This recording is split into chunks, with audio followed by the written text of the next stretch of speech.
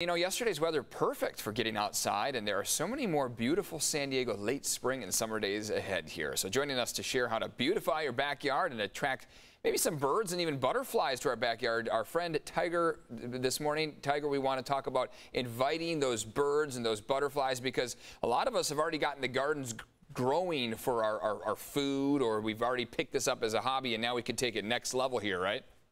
Yeah, this is talking next step. And it's funny, right before I, I came on, there was a commercial for a mosquito company, right? But what better natural way than attract some birds into your yard and they'll eat the mosquitoes? Oh, you know, if you, you have a mosquito problem. yeah, the circle of life. That, that's how that all works.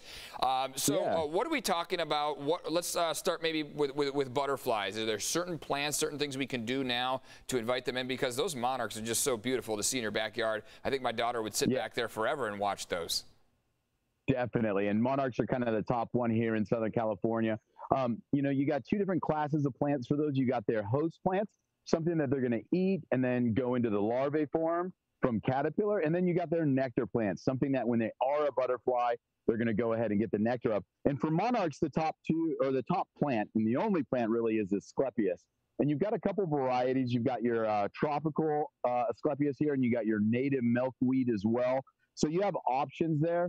Um, you know, you want to plant a mix because it's kind of a bit more of a buffet. You don't just want to have one variety because that would be like going to a buffet that only serves chicken nuggets. Oh, no. You want to have a few other options. yeah. yeah, you want hot dogs and pizza and all, all that stuff too.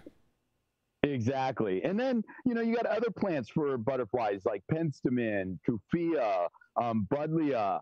And, and, you know, the cool thing about all these plants is that they all do their own part, but then they look pretty in other ways. And we have a company that we pair with called Moosa Creek Nursery. They're a native plant grower, and they create a little sign for all their plants. And on the sign, it says when it blooms. Oh, cool. They say whether it attracts like bees or butterflies as well um, because not too many people would think about a cactus actually attracting. Yeah, I was just well. I was like, wait a minute, Tiger, that's a cactus. There's not going to be much, uh, you know, that's going to want to fly to that. But when you show that it blooms and there's a little flower that can come from it, and add a little color to your garden, that's nice.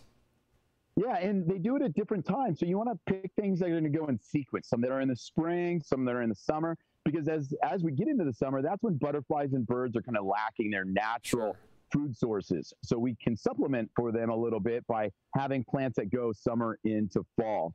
Um, the other thing I wanted to mention for both the butterflies and the birds is a water source. Yes. Um, a lot of people think, oh, I don't know, I can't put a fountain in, I, I don't have room for that, or I don't want to be a, a, buy a big expensive bird bath. This is simply just a, a pot, you know, a ceramic pot, mm-hmm. looks pretty nice, and this is just a saucer. Oh, there you, you can go. just simply put that on top, put it somewhere where it gets a little bit of water from maybe your sprinklers, and now you've got your water source for these oh, little critters. Go. And you're recycling the water. You're not necessarily even adding new water to that.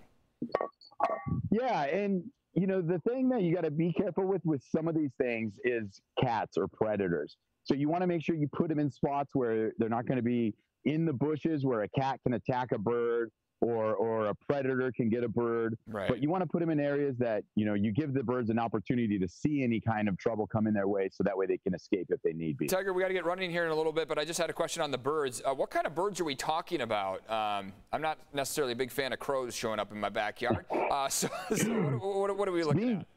Yeah, being specific is really smart. Do your research on what birds are in your neighborhood. Yeah. Finches, orioles, little birds like that only attract those by planting plants that are specific to those varieties. Gotcha. Okay, so you can actually break it down like that. That's uh, that's amazing.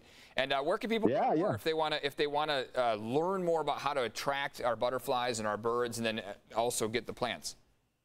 Okay, stop by here, Mission Hills Nursery. We'd love to help you. I'm in the trees because this is another thing that you want to be able to incorporate in the yard is to plant a tree. You'll attract a lot of critters that way as well. There you go. I like that. And uh, the mosquitoes too. That's the natural way to eat those little critters up, right? yeah, you'll see them flying around yep, it's that time of year. Tiger, always appreciate your insight, your advice, your suggestions, and then just the beauty that you bring onto our show here uh, with all the colors and everything. It's that time of year where we get to see those pops in our garden. Yeah, definitely. Awesome. Thanks again for your time, Tiger.